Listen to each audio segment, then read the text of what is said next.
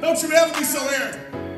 You can't take down from righteousness. The Bible says you ain't even got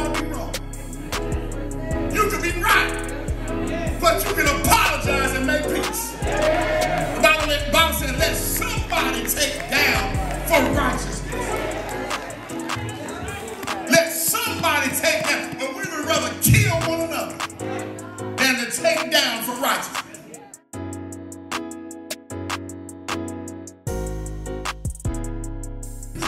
And if you do well, you'll be accepted. But if you do not well, sin lieth at the door.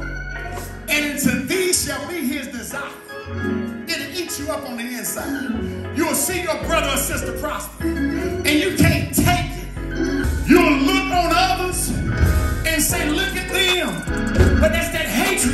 Inside. That's that jealousy on the inside.